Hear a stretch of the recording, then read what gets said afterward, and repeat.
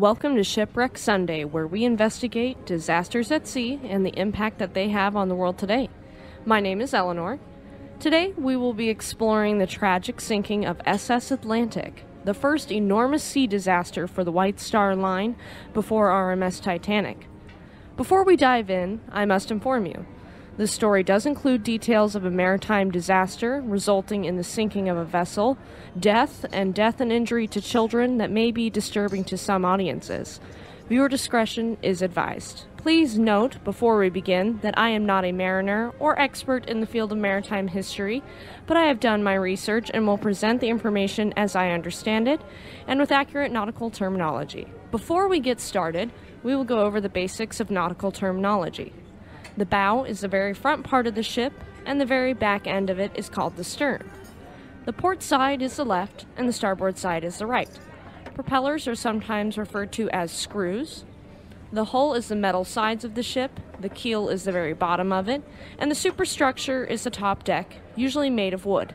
Smokestacks or funnels are large tunnels on top of the ship used to direct steam and smoke away from the deck. Masts are large wooden poles on the deck of the ship usually used to hoist sails or hold a crow's nest where crew members can see for miles around the vessel. Beam is a measurement that refers to the width of a ship. With that out of the way, we begin our story in 1870 in the Harland and Wolff shipping yard in Belfast, Ireland. After acquiring the White Star Line, Thomas Ismay ordered four ships known as the Oceanic class, later ordering two more ships to this four ship fleet. Oceanic class's second ocean liner was the SS Atlantic, and her keel was laid in yard number 74. All of the Oceanic class liners were roughly the same specifications with minor variations, being large and luxurious. SS Atlantic was 421.3 feet in length, had a 40.7 foot beam, and a 31.4 foot draft. For anyone who is unfamiliar, draft refers to the depth of water needed for a vessel to float freely and is measured from the keel to the waterline. She had five bulkheads fitted with watertight compartments. SS Atlantic had four decks total, including a large boat deck that was sectioned for crew and saloon class. She was a slim ship with an aspect ratio of 1 to 10 that would soon be mimicked by competitors.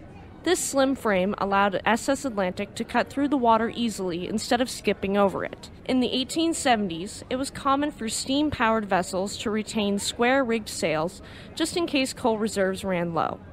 This was primarily for comforting hesitant passengers. SS Atlantic happened to have four square rigged sails that surrounded the single funnel, as well as one compound steam engine powering a central drive shaft capable of producing 600 horsepower. The ship was able to reach speeds of 14.5 knots with her single screw, which was decently fast for her day. In total, SS Atlantic could accommodate 1,166 passengers and crew, with 10 lifeboats on the lifeboat deck. SS Atlantic and her sisters were the epitome of the posh lifestyle that the upper class strived for. Where Cunard strived for speed and efficiency, White Star Line chose to instead focus on sailing as an experience instead of just a means to an end.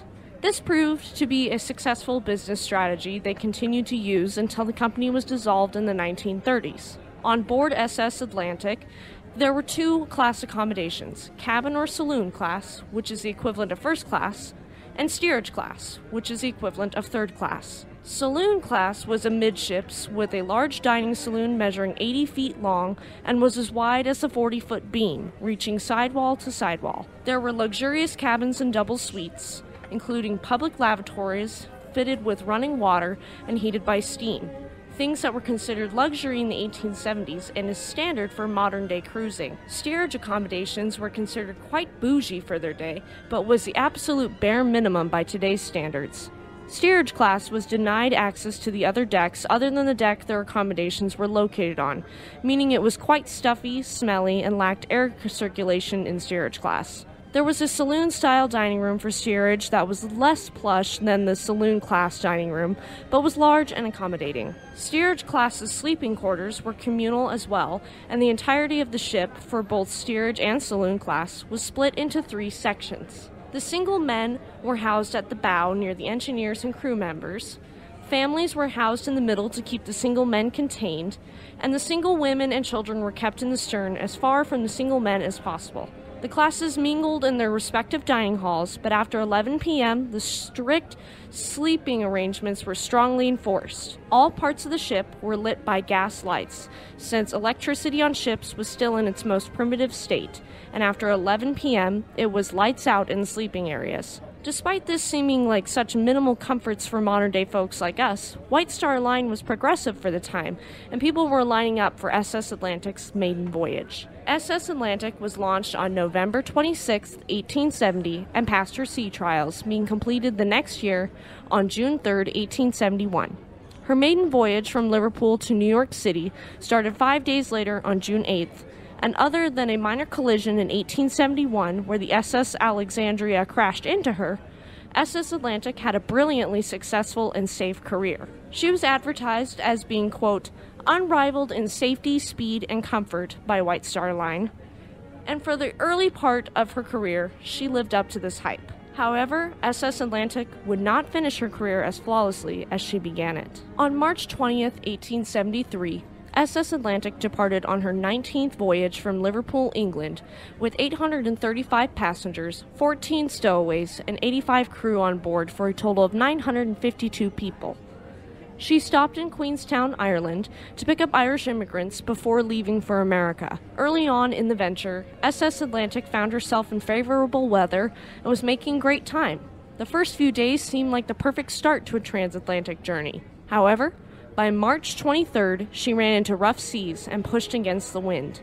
As the gale howled across the Atlantic Ocean and the ship rolled in the heavy seas, the air became hot and humid with the stench of vomit as passengers struggled to stomach the churning journey they found themselves embarking on. The floors, especially in the depths of steerage class, became consistently slick and putrid with nauseated passengers' undigested lunches. The menu became reduced to little more than water and other basics like cabin biscuits, which are like a plain homemade cracker, in order to calm the overwhelming amount of sickness. SS Atlantic pushed into the wind, but every day less and less progress was made. During the midst of this storm, a wave broke over her bow and smashed starboard lifeboat number four to smithereens, leaving only nine lifeboats. After seven days pushing forward at half the speed SS Atlantic could normally go, Captain James Williams of SS Atlantic started to worry that they would run out of coal in her coal reserves before making it to her destination. He ordered the galley, or kitchen, to reduce the amount of coal used for cooking to conserve it for the remainder of their journey. Captain James Williams asked the chief engineer, John Foxley, to report on how much coal remained in the coal reserves as they approached North America, roughly two days away from Sandy Hook, New York. In the 1870s, it was common for engineers to overestimate usage and underestimate supplies in order to keep the captain cautious about consumption and to anticipate any sort of situation that may prop up. Based upon his previous calculations, Foxley's estimate would have put SS Atlantic in danger of running completely out of coal before reaching New York. This, of course, was not true. It was merely an overestimate. However, if he admitted to Captain Williams that he had been overestimating, he could run the risk of losing his job and tarnishing his reputation. With that in mind, Foxley reported to Captain Williams that they had 127 tons of coal left with his underestimation of coal reserves, even though in reality they had 160 tons. His overestimation of consumption was not something Captain Williams was aware of, so he took this information to heart. 127 tons of coal may sound like a lot. Unfortunately, even in favorable winds and conditions, from where SS Atlantic was at, she would need at least 130 tons of coal to safely reach New York City. Captain Williams found himself in a tough situation. Does he risk running out of coal and drifting aimlessly in the Atlantic Ocean? Or does he bow his head in shame and make a run for Halifax, Nova Scotia to resupply? Either option was bound to be an embarrassment for Williams, being that no White Star liner had ever had to divert for resupplying. After mulling it over, Williams decides that the safety of his crew and passengers is more important to him than his own good reputation, and he plots a new course for Halifax, Nova Scotia. SS Atlantic headed in the direction of Halifax Harbor, which can be very dangerous to approach. The coastline of Halifax is littered with sandbars, strong currents, and rocky shoals that can spell death for a vessel, and the only way ships at this time could receive guidance into the harbor was either a tugboat or the Sambro Island Lighthouse, and it still stands today as the oldest surviving lighthouse in North America. This lighthouse was one of the only ways for captains to know where their vessels were at and where the entrance of the harbor was. Approaching anywhere else was just too risky and could surely spell disaster for any vessel foolish enough to try. Unfortunately for the SS Atlantic, most of the officers had never traveled to Halifax and were blissfully ignorant to the dangers they would soon find themselves in. On the evening of March 31, 1873, fierce winds and rough seas lapped at the decks of SS Atlantic as she crept toward the coastline of Halifax. One could surely smell the salty air of the ocean mixing with the scent of fish from the nearby harbor, a much welcomed difference from the vomitous smell the passengers had unfortunately grown accustomed to by now. As the sun set, the passengers excitedly gathered about the portholes, ready to catch their first glimpse of land in 11 long days. At midnight, Second Officer Henry Metcalf and Fourth Officer John Brown stepped in to relieve Chief Officer John Firth and Third Officer Cornelius Brady from their watch at the helm. At 12:20 a.m., Captain Williams arrives at the bridge and calculates that Sambro Island Lighthouse should be visible on the port side by 3 a.m. The officers were instructed that once they saw the Sambro Island light, they were to stop and drop anchor to wait until morning to navigate into the dangerous harbor. Unfortunately for Captain Williams, his estimate for his coordinates were wrong. Sambro Island was actually to their starboard side due to the ship drifting in the heavy current. And with the officers focusing their eyes to the port, they would never notice if Sambro Island Lighthouse came into view on the starboard side of the ship. Captain Williams is heavily criticized for his next decision. He informs Second Officer Metcalf that he will nap in the chart room, and that Metcalf is to wake him if he sees the lighthouse or if 3 a.m. comes, whichever comes first. Captain Williams informs the steward to wake him at 2:40 a.m. and leaves for the chart room, where he runs into a journalist and is interviewed before finally falling asleep. Metcalf, either trying to be kind to the captain or blindly stubborn, turns away the captain's steward who returns at 2:40 a.m. with a cup of hot cocoa to wake the captain. Metcalf is determined to find the lighthouse on his own, not waking the captain despite time drawing to and passing 3 a.m. By 3 a.m., Metcalf has still not seen Sambro Island Lighthouse. Still, he refuses to wake the captain despite direct orders given to do so. Metcalf is unaware that the SS Atlantic is dangerously close to the rocky shores of Halifax, plowing full steam ahead in rough conditions. In his mind, if they had not yet seen the lighthouse, then they were obviously still a safe distance from the shoreline. Quartermaster Robert Thomas is at the helm steering the ship. What is special about this man is that he was one of the few crew members who had been to Halifax Harbor before and knew of the dangers. He warned Metcalf that they were approaching the shore and reminded him of the dangers, but Metcalf shakes him off. This thinking would prove fatal, as we are about to see. We have reached the time of the sinking. Before I continue, I would like to remind everyone that what you are about to hear does contain details of death, death of children, and descriptions of the sinking that may be disturbing to some listeners. And now, back to March 31st, 1873. At around 3:15 a.m., a shout echoes across the water and over the deck of the bridge. Breakers ahead. Metcalf's blood turned to ice and his skin prickled as he realized his mistake too late. The lookouts pointed out the rocky shores of Mars Island off of Lower Prospect, and ahead of them was an enormous rock nicknamed Golden Rule Rock. The irony of the situation of running t- into a rock called Golden Rule Rock, where the Golden Rule is to not run into the rock, is not lost upon me, and I'm betting you probably feel the same way. In a panic, Metcalf orders the ship's engines in full reverse and to turn the ship hard to starboard, trying to desperately pitch the ship off to the port side to avoid the rocks. When using tiller commands, as steamships did back in those days, one would say hard to starboard in order to make a sharp turn to the port, and vice versa. So Metcalf calling to turn hard to starboard when seeing the breakers off the starboard side was actually the correct move. With bated breath, the crew watched SS Atlantic bob frantically in the waves, not turning fast enough to avoid the collision that was bound to happen. The ship rides over submerged rock pilings, ripping out the keel with a startling shudder before crashing into Golden Rule Rock and stopping the ship so quickly that every oil lamp on board was snuffed out in an instant. Now, not only was SS Atlantic in danger, but she was in the dark. The passengers and Captain Williams are instantly awoken upon impact, some being tossed from their beds. As Captain Williams hustled back onto the bridge, the beautiful ocean liner that had just lodged herself on the rock began to wail and groan as it swings in the rough seas. Despite the engines being in full reverse, it is no use. SS Atlantic isn't going anywhere. As the stern section swings back toward the shore, it smacks onto another rock below the waterline and grinds the propeller blades off, rendering the ship adrift. The engineers find themselves frantic to turn off the engines and cool the boilers as icy Atlantic Ocean water pours in. If the hot metal of the boilers and the cold water of the ocean meet, it will cause an explosion and kill most everyone on board. The last thing the engineers do before abandoning the flooding engine room is to open the steam vents. At this point in time, SS Atlantic is adrift, and the lower decks and stern section in particular are rapidly flooding. Captain Williams issues three orders. Number one, all hands on deck. Stewards flee to wake passengers and bring them to the deck.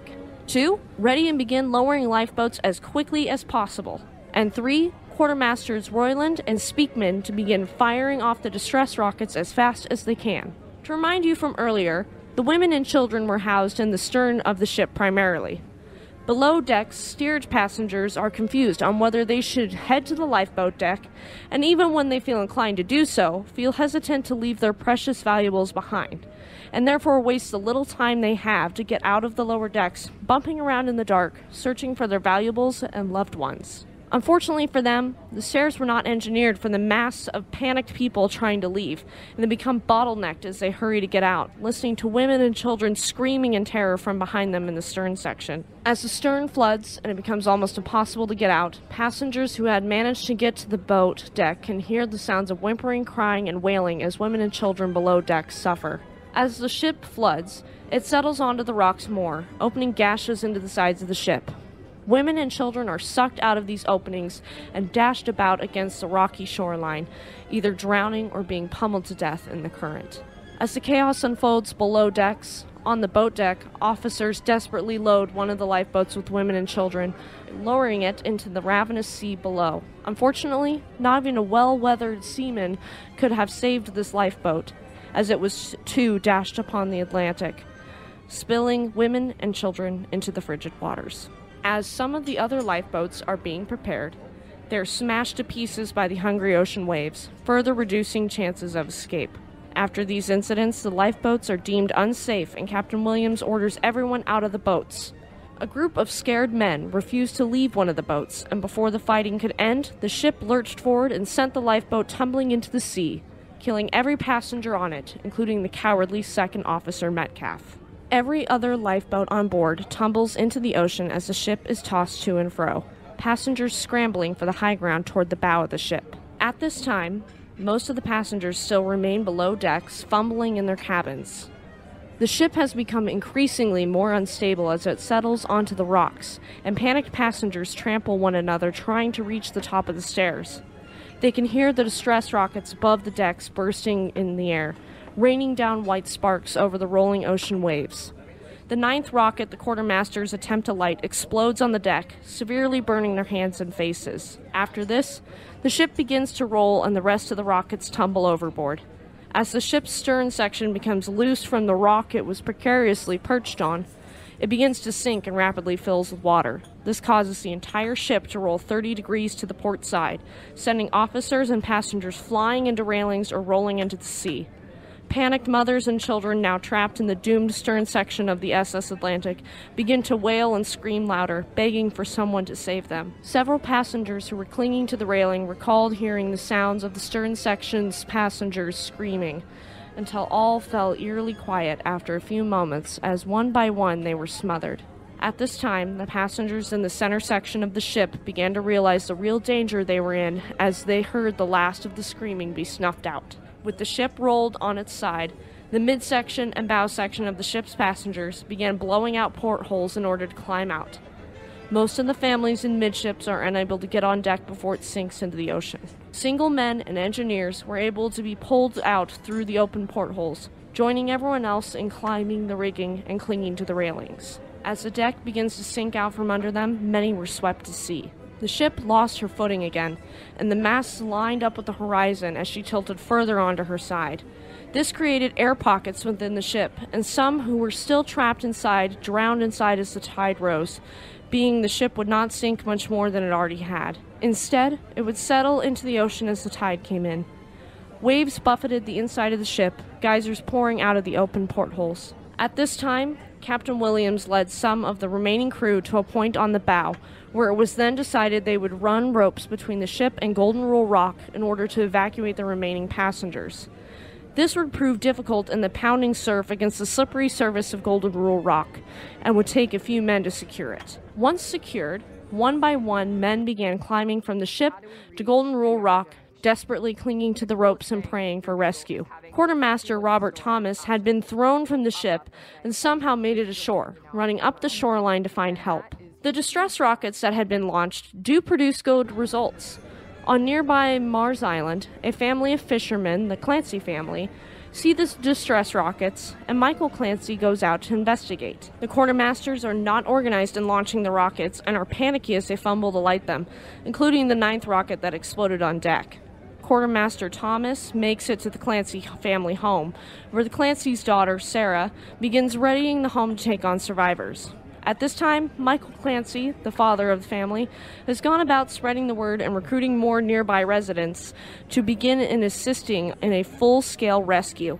The Clancys and other local fishermen volunteer their own boats to begin a rescue of the men at Golden Rule Rock, as well as securing lines between the rock and the shore. As survivors make their way to the shore, they are ushered through the Clancy home, where Sarah feeds them soup and allows them to warm themselves in front of the family fireplace. By her estimate, at least 400 people went through their living room that night. The rescue pushes through the early morning hours as the sun begins to break and the full extent of the devastation becomes visible. As the sun rose higher in the sky, Reverend William Ancient, who was the nearby Anglican clergyman at Terence Bay, stumbled upon the scene and saw everyone on the shore collecting the dead and organizing the survivors. He first assumed the rescue was finished until he looked out to the SS Atlantic and noticed three people still in the mizzenmast. First Officer John Firth, a young steward boy, and a woman named Rosa Bateman, who had been secured to the mizzenmast by Firth to keep her from drowning. Ancient saw leaving these three as deplorable, and formerly of the Royal Navy, he felt comfortable performing a rescue. He then gathered a small crew on a dinghy and set out to rescue the three trapped individuals. Ancient's heroic efforts were appreciated by Firth and the young steward, who were able to be rescued. Rosa Bateman had passed away and was so entangled in the mizzen mast she could not be freed. She was left behind as the others escaped the sea that was once again growing angry. On the shore, as the ship finally began to break apart and settle beneath the waves, the last thing survivors saw was the beautiful young woman tied to the mizzen mast as waves lashed at her face and clothes just before the ship went under. After the rescue was over, the locals took to scrapping and salvaging what they could of the ship. They had moved heaven and earth to save the people they did, and then moved heaven and earth once more to retrieve bodies and salvage the valuables they could. Of the 952 people on board, 535 died, including every woman. Only one child survived, a young man named John Hanley, who was cared for after the incident by the Clancy family's charitable daughter, Sarah Jane O'Reilly. Following the sinking, White Star Line and the Canadian government reimbursed those who had participated in the rescue, as well as paying rewards to those who had been brave enough to take to the sea to rescue survivors. This loss was devastating to White Star Line, and the company nearly went belly up in the wake of the tragedy. There are two grave sites for the victims of Atlantic the Protestants having been buried in the cemetery near Reverend Ancient's commune, and the Catholics being buried in Catholic priest Reverend Martin Mass's Star of the Sea cemetery. The city of Chicago was so moved by the actions of the citizens of Lower Prospect that they sent rewards to the heroes of the rescue as well as donations for the victims. The wreckage of SS Atlantic is in bits and pieces due to salvaging efforts using explosions and divers at the time removing a lot of usable materials. However, she still sits 40 to 60 feet under the water depending upon the tide. A few boilers, some wooden fragments, and other small relics are the only things left behind to tell anyone that a gorgeous ocean liner and many innocent people met a horrific fate there. The SS Atlantic Heritage Park Society is a volunteer run museum that commemorates the sinking as well as bringing awareness and remembering the liner and her myriad of victims. If you find yourself in Nova Scotia, pay them a visit and help support them. They work tirelessly to give us the information we have on the ship today, as well as preserving artifacts from her. The impact this had on White Star Line goes without saying. This was the first major disaster for them in their history as a company, and would leave a dark stain on the company's reputation, only being further soured by disasters like SS Republic, RMS Titanic, HMHS Britannic, and another ship we have previously discussed, SS Naronic. SS Atlantic also continues to teach us the importance of coastal navigation and to appreciate those who do it well and do it safely. Thank you for tuning in to Shipwreck Sunday.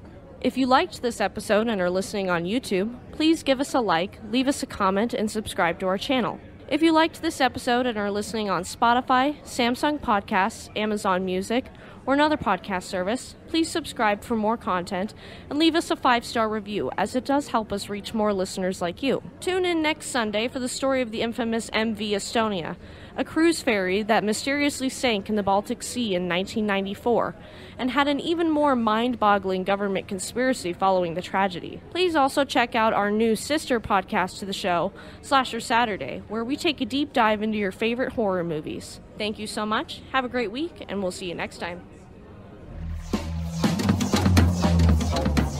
Thank you.